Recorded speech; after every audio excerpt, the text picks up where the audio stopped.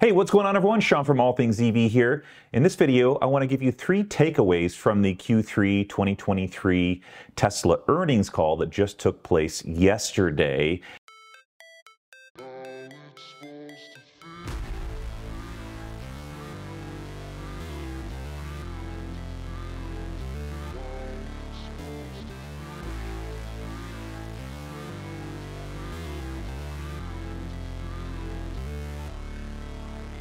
There are three themes that I'm taking away from this particular earnings call. Number one, there's a lot of talk about the Cybertruck because they made some big announcements.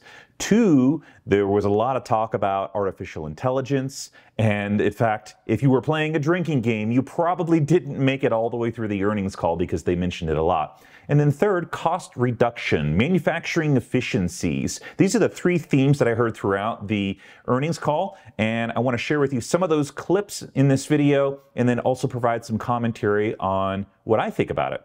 And so we are like the car, photons in, controls out, with neural nets, just neural nets in the middle. It's very interesting to think about that. Uh, we will continue to invest significantly in AI development, um, as this is really the, the massive game changer. And I mean, success in this regard in the long term, uh, I, I, think has the potential to make Tesla the most valuable company in the world by, by far. If you have fully autonomous cars at scale and fully autonomous uh, humanoid robots that are truly useful, it's not clear what the limit is.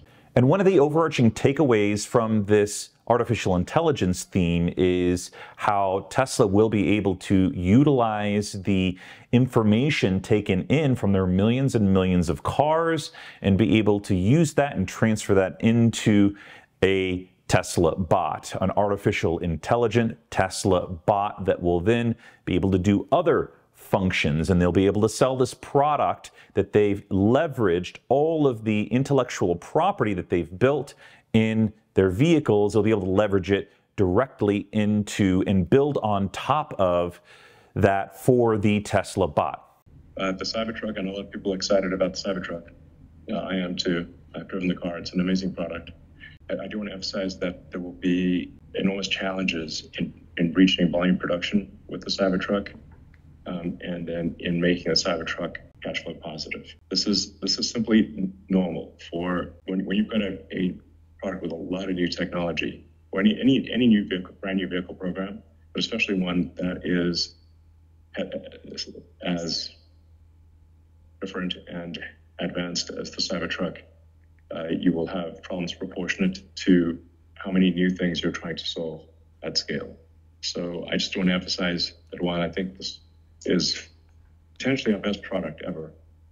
Uh, and I think it is our best product ever. Um, it is going to be require immense work to reach volume production and be cash flow positive at a price that people can afford. Uh, often people do not understand what is truly hard.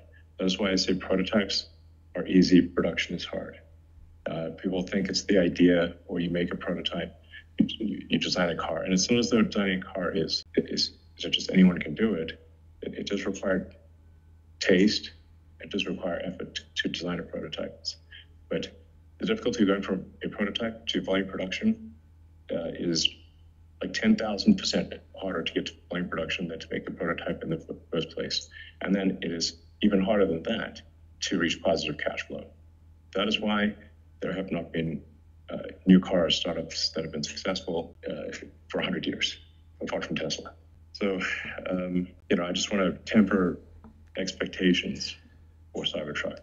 Um, it's a great product, but financially, it will take a year to 18 months before it is a significant positive cash flow contributor. Uh, I, I, wish there was some way to that to be different, but that's uh, that's my best guess you know, so it, it really the, the, demand is, is is off the charts. We have over a million people who have reserved the car. It's not it's not a demand issue, but we have to make it, um, and we need to make it at a price that people can afford. So we finally get some news on the Cybertruck. This is so great. I know a lot of people have been looking forward to when that delivery event is going to be, and we've heard it. We now know it's going to be November 30th of this year. They will do the delivery event. And on this earnings call, they really talked about tamping the expectation for uh, ramping production. Ramping production, they say, is going to be very, very difficult, and low volume production at first.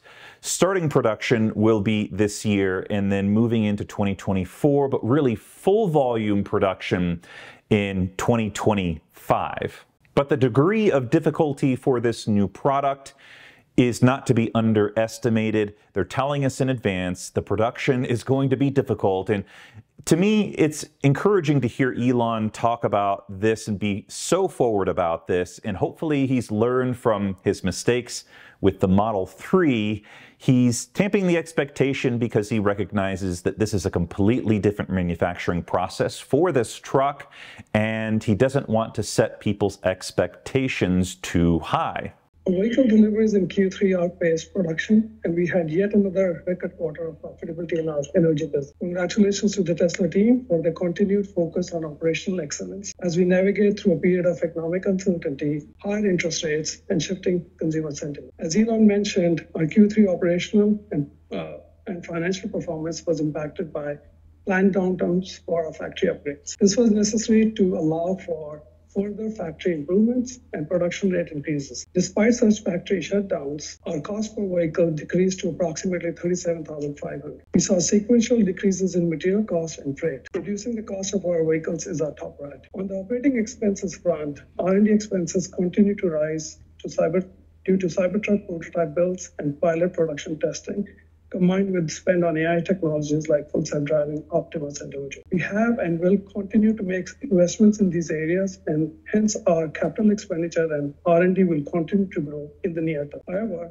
our focus is to continue making investments through positive cash flow from operations. This year itself, we have generated operating cash flows of approximately 8.9 billion and free cash flows of approximately 2.3 billion. Our other businesses are becoming more prominent on a standalone basis, with energy business leading the charge primarily from the growth in Megapack deployment. Our services and other businesses on a year-on-year basis also continue to show positive momentum as we benefit from our growing fleet. As regards our pricing strategy, in addition to what we have shared before, I want to elaborate that most car buying happens with one or other form of financing, and hence we also view pricing in terms of monthly costs for the customer. And therefore, as interest costs in the US have risen substantially, it has required us to adjust the price of our vehicles to keep the monthly cost in parity. We've tried to offset such adjustments via focus on reducing costs. However, there is an inherent lag in cost reductions, which in turn impacts margin. To that extent, we recently announced a partner vehicle leasing program in the US, whereby you can get a standard range Model Y for as low as $399 a month. In conclusion, as we navigate through a challenging economic environment, we'll focus on reducing costs, maximizing delivery volumes, and continuing making investments in the future, in particular AI and other next generation tech. We believe this strategy positions us well for the long term. Once again, I would like to thank the Tesla team for their efforts in the last quarter. After listening to their CFO talk, there's no doubt that they are hyper aware of the current economic state and the interest rates and how high they are. It appears like they're working incredibly hard to reduce the cost of production and manufacturing their products. And this is the way to be able to get people to purchase their products, but specifically their vehicles. They have other products, but they talked a lot about how the high interest rates are impacting people's ability to be able to afford their cars, and they're doing everything they possibly can on the cost side, the manufacturing side, to be able to reduce that and then in turn reduce the purchase price or asking price of those products. I think this is really great because even in a strong economy, it's going to benefit them to figure out ways to reduce cost. The first investor question comes from Craig. How many Cybertruck deliveries do you anticipate for 2024? It's difficult to make an accurate guess at this point. Going back to what I said earlier, that the ramp is going to be extremely difficult. Like, like I said, there's, there's, there's no way around that. If, if you try to make, if, if we just try to do some copycat uh, vehicle design of which there are literally 200 models that are slight vari- variations on a theme in the, in the combustion engine world, just just distinctions without a difference, uh, then you know it's really not that hard. But if you want to do something radical and innovative and, and, something really special like the like the Cybertruck, um, it is extremely difficult because there's nothing to copy. You have to invent not just the car, but the way to make the car. The, the more uncharted the territory, the less predictable the outcome.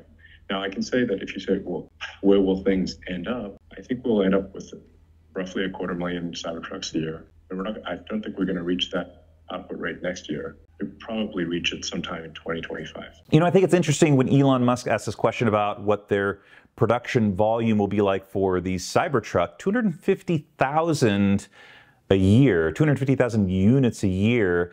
I guess this makes sense if you're just specifically talking about the United States, but Ford and the F Series is doing more than a million units a year, so it seems like they're really being cautious about this, even though they say, he, Elon Musk said that they have over a million reservations for the Cybertruck. Could he be downplaying the level of interest here? Maybe they want to see how people react when these trucks get on the road before stating that they're going to be producing more than half a million units a year or even more than that. But I do think it's really interesting that he only said 250,000 to me, I think that there's a ton more interest in the Cybertruck than 250,000 units a year. Okay, that wraps up my summary. We've got a lot of juicy information on the Cybertruck that I think is going to get people, keep people going until the event on November 30th.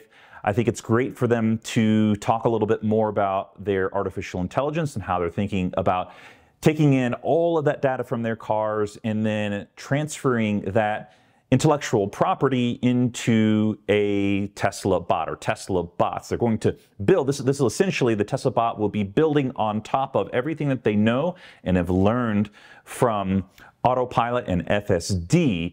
And to me, this is really, really exciting because it's not like they're going to be starting from scratch with the Tesla bot. It's all of the things that they've learned and all of the technologies that they've got being implemented directly into the Tesla bot. I think this is going to be incredibly exciting if they can execute on it. I know Elon Musk has overstated their timelines on FSD, uh, which he did mention on this call and admitted that he's been overly ambitious about it. So it's great to, to hear him admit that. And I think uh, if they can execute on FSD, uh, it's really going to accelerate their, their growth and give them a ton of leverage with their Tesla bot. And then lastly, it's the economic headwinds and how they're talking about reducing cost of things. To me, these are the three most important things that I heard on the earnings call. But what do you think? Was there something that I missed or something that really stood out to you? I'd love to hear in the comments down below. Thank you so much for watching. If you found this valuable, hit the like button, and I'll catch you on the next video.